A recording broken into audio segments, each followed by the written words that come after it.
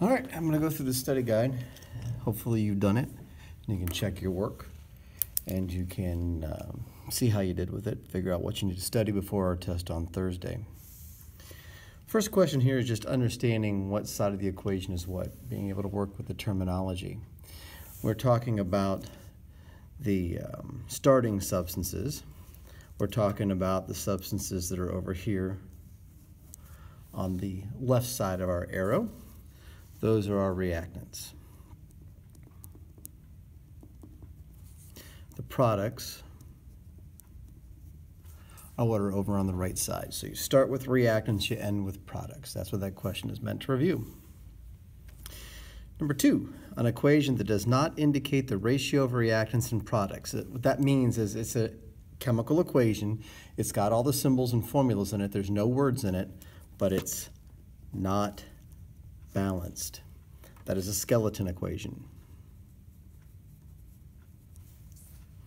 The skeleton equation is the one before we balance it. The arrow in a reactant means to produce. The arrow means to produce. Plus signs have different meanings. A plus sign on the reactant side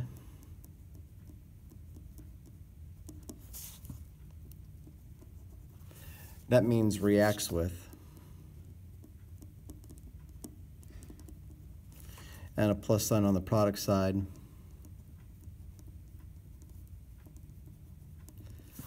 means and. So when we're interpreting those chemical reactions, when we're reading our way through them, when we come to the arrow, we say to produce. Most of the time. If it's a decomposition reaction, we might say decomposes to produce, just so we can have a verb in there. We come across a plus sign on the reactant side, we say reacts with. We come across a plus sign on the product side, we say and. AQ stands for aqueous, which means dissolved in water. Most of our ionic compounds don't react unless they've been dissolved in water. So you see aqueous quite a lot in a chemical reaction. S means solid. Remember, we look for those solids on the product side in precipitation reactions. You see an L, that means liquid. And a G means gas. The whole numbers that are put in front of formulas to balance an equation, we're talking about that 2 in front of the H2O, that is a coefficient. The other two numbers are subscripts and superscripts. That is a subscript. And a subscript tells you the number of atoms. That 2 means we have two hydrogen atoms. And a superscript would be that number.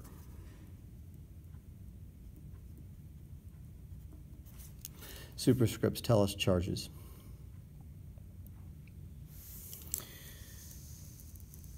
All right, uh, reaction, we actually have to do something with it. What type of equation is this? What type of reaction with this? Well, I've got a plus sign on both sides. So that means it cannot be synthesis or decomposition. So it has to be single replacement, double replacement, or it's combustion. So to figure out what it is, we have to look at what we've got. This has got three capital letters in it, that's a compound. That's got two capital letters in it, that's a compound.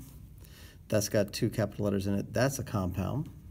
That's got three capital letters in it, that's a compound. Everything's a compound, that makes it double replacement.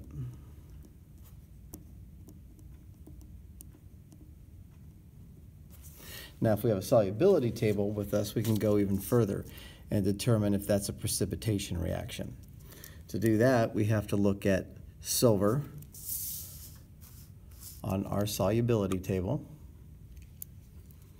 Silver's right there. And we have to go down to the nitrate row, what it's been bonded with. So, silver's on the very edge of our screen here, that's silver. The nitrate row is here it says soluble. So that means the silver nitrate is aqueous.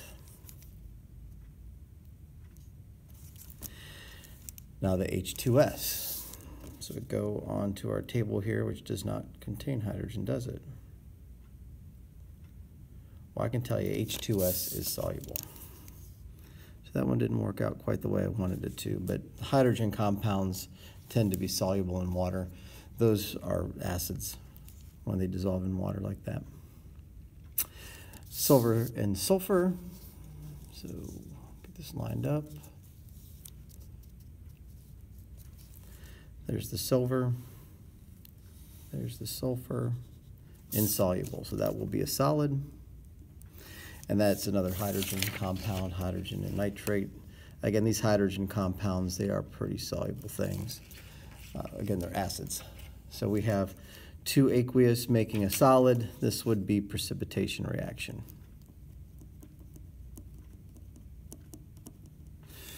The ones that you'll have to do for me on the test will be on the table, so you don't have to worry too much about that hydrogen thing. Let's balance this equation. I'll copy it down here.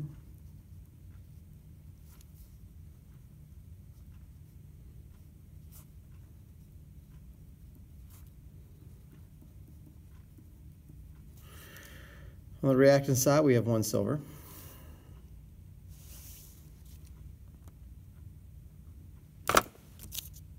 Now we come to the nitrate, the NO3, and we have to decide if that's something that we can keep whole or not.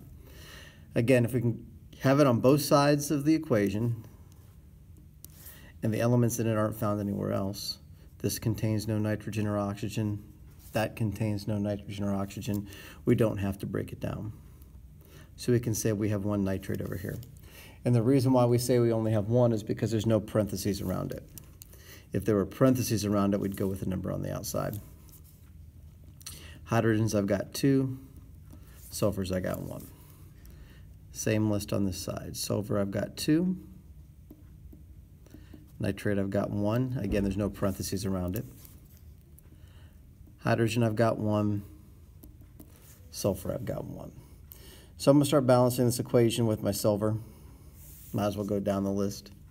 One on this side, two on that side, so I'll stick a two here in front of my silver nitrate. That gives me the two silvers I need to balance that out, but it will also double the number of nitrates that I have. So now there would be two on the reactant side. So I'll come over here to the product side and try to fix that. Two and one. I'll put a two out in front of the hydrogen nitrate, or again, it's an acid really. Two hydrogens now and two nitrates. And my sulfurs are balanced. So my lists are the same, 2, 2, 2, 2, 2, 2, 1, 1. So that is a balanced equation at this point. We'll be balancing this one as well.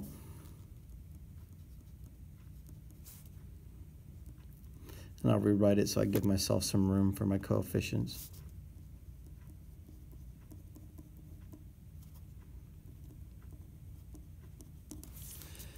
And again, I'll start by breaking everything down. One iron, three chlorines, one sodium. Now I come to the hydroxide, the OH. Again, if I have it on both sides, like I do, and there's no oxygen or hydrogen here, there's no oxygen or hydrogen there, I don't have to break it down. There's no parentheses around the hydroxide, so there's only one. I make the same list over here. One iron, one chlorine, one sodium, and this time I have three hydroxides. And when I have parentheses, I go with the number on the outside. I make my list in the same order because my eye wants to go in a straight line. So I want to make sure that it can when I'm analyzing this. If I put iron here and then iron down there, my eye doesn't want to do that. My eye wants to go straight across, and sometimes it'll see something that's not there. So we want to make sure we don't fool ourselves. So the chlorine's out of balance here. We can go ahead and start with that. We stick a 3 out in front of the um, sodium chloride to fix that. That will give us three sodiums, 3 times 1, and three chlorines, 3 times 1. Now I've just shown the, thrown the sodium out of balance. I got 3 on the product side. I have 1 on my reactant side, so I'll throw a 3 out in front of the sodium hydroxide. 3 times 1 is 3. 3 times 1 is 3. So that fixed both things. And again, when these lists are the same, it's balanced. 1, 1, 3, 3, 3, 3, 3, 3. Everything's good to go. It asks which product in number 7 is likely to be a precipitate. That's where we go back to our solubility table again, and we're looking for the thing that's going to be a solid. So I've got iron and I've got hydroxide. So I come to my table, there's iron. I've got to go to the hydroxide row, which is right there. Iron and hydroxide is insoluble. So that's it. That's the substance that's likely to be my precipitate, the one that ends up being insoluble on our solubility table.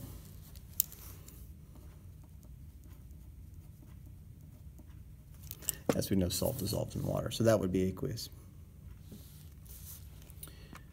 All right, moving on.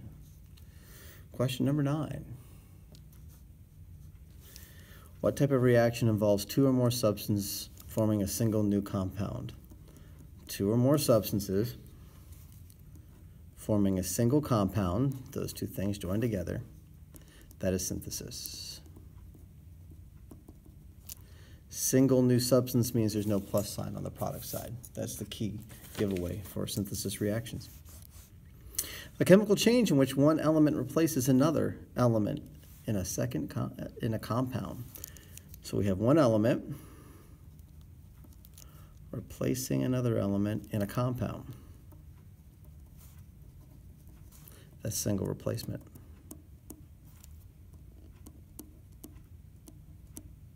Also called single displacement. So if you see displacement, it means the same thing.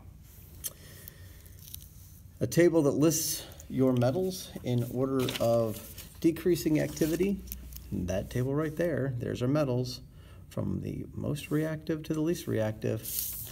That is called an activity series.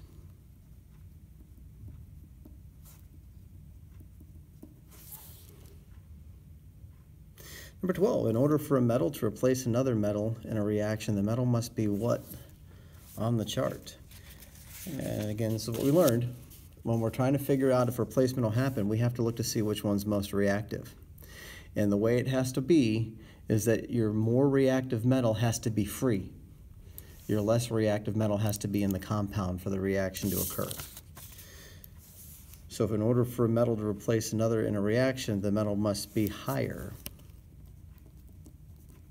on the chart. The higher ones are more reactive. So that free metal has to be the more reactive one. That free metal has to be the one that's higher on the chart.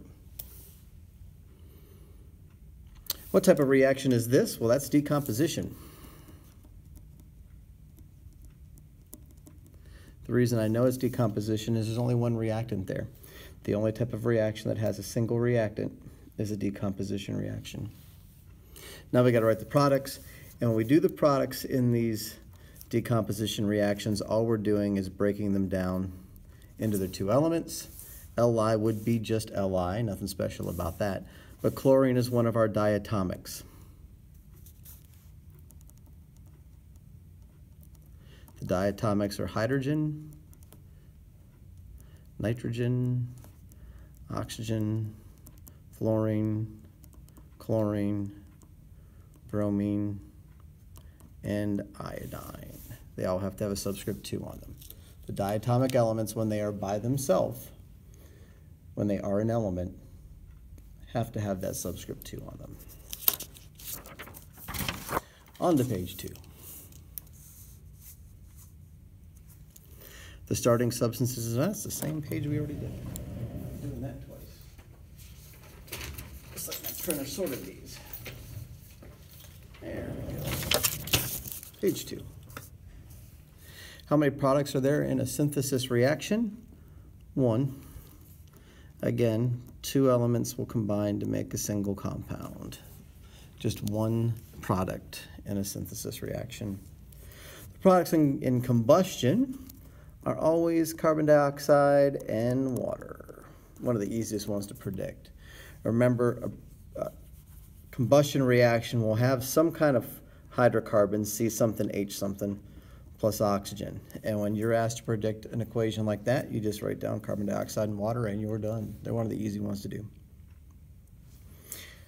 Number 16, will these proceed? That's a matter of figuring out which metal's more reactive. So in our first one, my metals are lithium and magnesium. So let's look at the activity series and figure out where each one is. There's lithium, higher on the list, it's at the top. And there's magnesium, a good way down, almost halfway down. That tells us that this is the more reactive one. This is the less reactive one. And for a reaction to proceed, the more reactive one has to be free. So this one will proceed. So we have to replace those metals out. So magnesium will be the free metal now. And to figure out our compound here, our lithium chlorine compound, we have to use the crisscross method. Lithium's a plus one, it's in group number one. Chlorine is a negative one, it's in group 17. So we end up swapping out a couple ones here. And it ends up being LiCl. Don't forget to crisscross when you're writing these formulas. Take a look at our next one, calcium and iron. So we have to get our activity series out again and find calcium and iron. There's calcium, there's iron. Calcium is higher than iron, so calcium is more reactive, and iron is less reactive. And again, for our reaction to proceed, the more reactive one has to be free, like it is. So the calcium will replace the iron. So iron will be the free element. And for our calcium and oxygen formula, we have to do crisscross. Calcium is a plus two, it's in group two. Oxygen's over in group 16, so it's a negative two. We're swapping out a couple twos which in the end reduce to ones. So it's just CaO. Remember the plus two and the minus two basically just cancel each other out. So you only need one atom of each element to make that compound. Finally, nickel and barium. So let's look at our list. There's nickel. There's barium. So barium is higher. It's the more reactive one. Nickel is the less. And again, for this reaction to proceed, the more reactive one has to be the free element. This will not proceed. There will be no reaction. So NP for not proceed or NR for no reaction, whatever you want to do. That one will not react. All right, moving on. Those two, that is synthesis. The reason I know this is synthesis is because both of those are elements. Both of those have just one capital letter in it. For my products, I have to do the crisscross method. Aluminum is in group 13, so it's a plus 3. Nitrogen is in group 15, so it's a negative 3. Positive 3, negative 3 cancel out, so we'd only have one of each. Or you can go ahead and cross a 3 and a 3. Those can be reduced to 1s. ALN is the formula. Don't forget to crisscross. I mean, that one worked out with no subscripts, that one worked out with no subscripts, that one worked out with no subscripts, but that's not always the way it goes. So you got to be careful. Make sure you check it.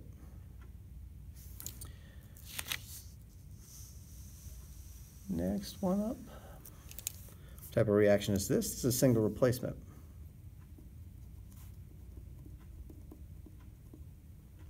I know it's single replacement. No, that's actually double. I thought that was an L. Or is it? Yeah, that's an L. This is an L. In this um, formula here. Kind of looked like an I for a second there, but that is an L. Cl2 and sodium iodide, chlorine and sodium iodide. Element compound, single replacement. Now, our rule in single replacement is that like replaces like. So since chlorine is a nonmetal, it has to replace the nonmetal. So it doesn't replace the sodium, it replaces the iodine in this. So iodine becomes the free element, and it's one of those diatomics, so it has to have the two on it. And then for our formula, we have to crisscross. Sodium's a plus one, chlorine's a minus one. I really wish the person that wrote this didn't make it so simple. But again, there's no subscripts in that. This is just a review sheet I found on the internet and modified. Again, you've got to do that crisscross. It's not automatically going to be just one atom of each. Sometimes you have subscripts in there. So if this had been calcium instead. We'd have been moving a 2 over here to the chlorine. So do be careful. Make sure that uh, you're doing that crisscross, making sure that you know what the subscripts are supposed to be there. And finally, 20 minutes into it. That's not too bad for a review sheet if you know what you're doing. We got to complete this reaction. That right there, the carbon dioxide and water tells us this is combustion, and the other reactant in a combustion reaction is oxygen. Well, I hope that was as much fun for you as it was for me, and uh, maybe more than five or six people to watch it, and it'll be worth the time. Good luck.